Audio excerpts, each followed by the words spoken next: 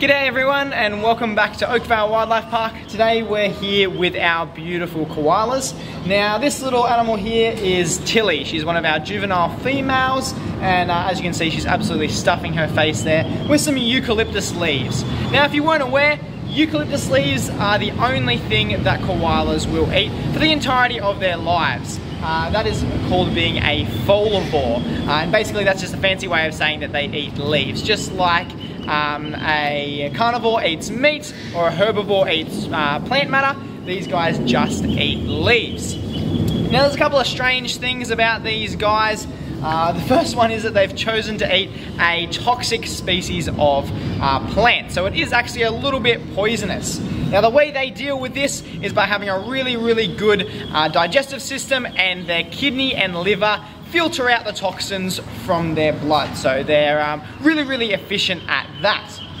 Now these guys are marsupials, which means they are uh, really underdeveloped when they're born, and then they spend the rest of their time being raised inside of a pouch.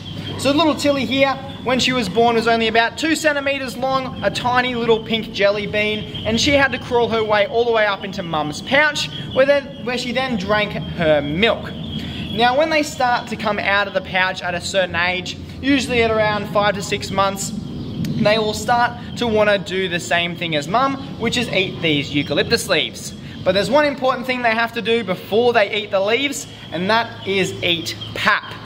Now pap is basically the mother's poo. It's a little bit gross, uh, but they need to eat it because it's full of bacteria and enzymes and all this great stuff that loads up their guts and allows them to be able to digest the really tough fibers that are in these leaves. Now this isn't just something that's specific to koalas, a lot of other animals actually do this and it's a really really great way of passing on bacteria and um, uh, giving the, their young a really healthy gut. Uh, so it's a little bit strange, but it is really important to their survival. We'll see you next time at Oakvale Wildlife Park.